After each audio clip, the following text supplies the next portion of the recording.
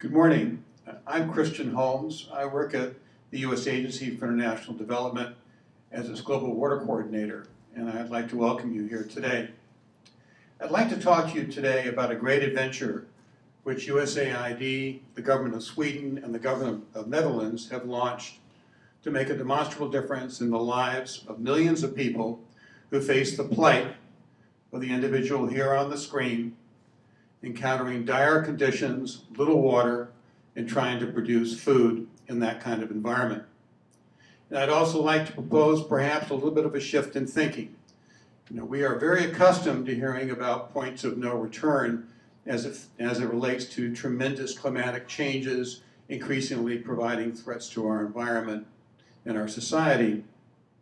But there are also individuals on the ground that seemingly may face a point of no return, such as this farmer who clearly has inadequate soil and water which to grow crops, and provide this farmer and millions like this farmer with points of return, places in which, in ways in which individuals like this can in fact prosper, sustain themselves, lift themselves out of poverty, all because of innovative ways in which to provide additional water to produce food. And in my presentation today, I'd like to cover four very innovative ways that we are supporting through this partnership. And I hope you'll think of them as points of return. The challenge that we face is enormous, and I even hesitate to go through statistics, but it's worth considering that between now and the year 2050, our world's population will increase from 7 billion to 9 billion. At the same time, a population that already uses 70% of the water on the planet for food production will find itself in need globally of 55% more water. And at the same time, between now and 2050, the world will have to meet will have to produce 55% more food in order to meet the needs of this ever increasing population. So when USAID and its colleagues from Sweden and the Netherlands came together to try to address this problem, develop new ways in which to provide innovative solutions, we thought, you know, not only are we asking for innovations, we better seek these innovations in a very clever, innovative fashion. And what we did is we agreed that, first of all, we would be very clear as to what we felt would be the key problems impeding increasing water for food. And those three problems are water reuse, water capture and storage, and salinity. Secondly, we decided that we were not going to provide solutions to the world and say comment upon them as might be the case in a normal request for proposals. But rather, we would just lay these problems out to the world and say, if you have a proven technology or a technology that's on the cusp of working, then we hope that you will submit that to us because we would like to provide and partner with you financial support as an inducement to help you take that technology from a place that it works to another part of the world. And we issued this challenge, and in return, some 520 applicants from 90 countries around the world came in and they said, we think these solutions can work. We winnowed them down to some 17 finalists. We're now in the process of concluding these agreements, and I want to share with you the work of four of the finalists. In a turn, we'll be making awards between $300,000 to $1 million to each of these uh, finalists in order to facilitate the transfer of their technology into the developing world. So I mentioned to you, and I used the word adventure at the beginning of this presentation, and it really is the process of going out in our entire planet and trying to bring forth great solutions to these pressing problems. And to begin with the first one of the adventures, the story begins in the Yellowstone. And this is the famous geyser in the Yellowstone. And a discovery was made here, which I think and others think is going to be critical towards increasing food production in harsh conditions. About 20 years ago, a team of geologists went to the Yellowstone to basically explore what kind of life might be able to list in proximity of these geysers where temperature rises up to 161 degrees and where the ecology had actually been classified officially as being sterile. And when they got there, they noticed little clumps of grass, a species called panic grass, and they posed the question, Why is it alive? In analyzing the grass, they discovered that on the root system of the grass, there was a little colony of microfungal organisms. And in further analyzing this, they discovered that the fungal organisms and the plant itself had a symbiotic relationship. Namely, the plant without the fungal organisms could not survive at severe temperatures, up to 141 degrees Fahrenheit. And likewise, the fungus couldn't survive without the plant. So they took this technology, namely the fungal growth, and they've applied it to other crops, in this case corn. On the right, rather on the left over here, is corn over an 18 uh, day period that is grown without water. And as you can see, by the 18th day, it's dead. Here is corn that's been treated with this fungal organism that's been able to maintain its docility and, and life over an 18 day period. So right now in the United States, in more than 10 states, there are field trials underway in order to be able to test the application um, of this product as it applies to both corn and rice. Uh, this is in Michigan.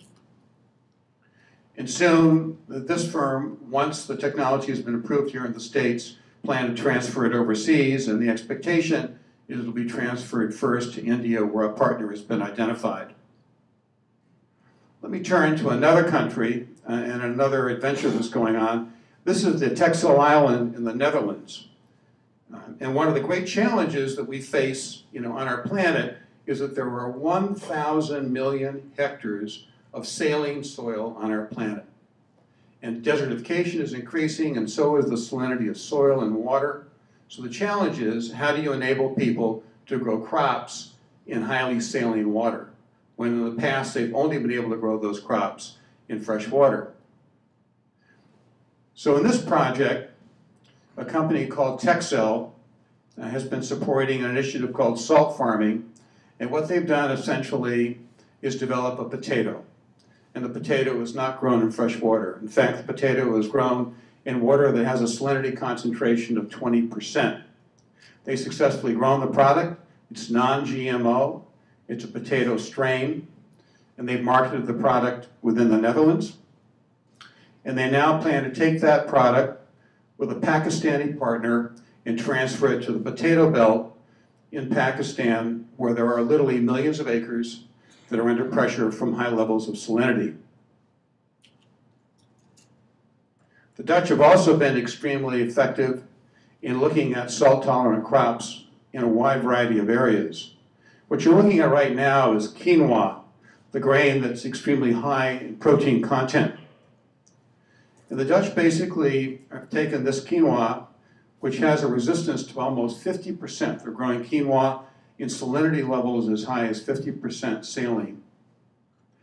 And they've been able to grow a strain that will essentially facilitate its adaptation in other parts of the world because this crop, quinoa, grown on its own, has a very hard uh, hull around the crop itself and it has to be milled. And in some places, that's a disincentive. So they've been able to develop a strain, identify a strain that is highly salt resistant, uh, can be easily milled, if not at all. And they're in the process of working with the University of Hanoi to transfer this to Vietnam. And the reason they're doing that is because of the high salinity levels in coastal areas over the time due to saltwater intrusion, and also because the protein content in quinoa happens to be twice the protein content in rice.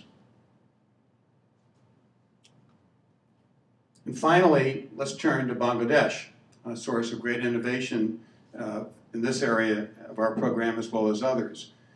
So Bangladesh has some 230 rivers, and the bulk of the populations live near these rivers, and they are very, very volatile, as you all know. And this is a picture of a river that's flooded, uh, brought with it tremendous destruction. And when the, when the river recedes, it leaves behind sandbars. And normally the sandbars are perceived as having no value because one is unclear about how long the sandbars are going to be there. Secondly, the salt content could be quite high. Thirdly, uh, there's not an adequate amount of soil mixed with sand. So it seems to be a harsh environment in which to grow crops. So an organization called Practical Action decided to challenge that idea, started to work with landless farmers, taught them how to move out on these sandbars that appear right after a storm, and how to plant crops that are cash crops that can come up very quickly, but also provide a critical health need in Bangladesh, namely high amounts of vitamin A, which are needed to counter childhood blindness. So the crop they chose is pumpkins. And this is a sandbar that previously had nothing on it. And the technology is very simple. It's basically taking people onto the sandbar, digging pits, having jute bags that are already filled with compost, which is usually pumpkin from a previous crop, putting seeds into the jute bag, dropping the jute bag into the hole, and then watering it periodically. The yields are impressive. They're getting up to 10 pumpkins per pit and the weight of these pumpkins have been, to, been between 40 and 45 pounds. And the economics are equally impressive. So one farmer basically has invested $116 into this effort, has received $416 in return as a result of, of marketing almost 1,500 pumpkins in one season. The plan is to replicate this you know, throughout many, many parts of the Deltaic region and elsewhere in Bangladesh. And the hope is it provides opportunities for men and women as they themselves attempt to be lifted out of poverty and capitalize on such innovations. It's been a pleasure to be with you today. Thank you.